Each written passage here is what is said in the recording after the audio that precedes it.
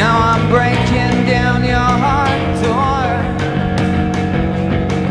to try and save your soul.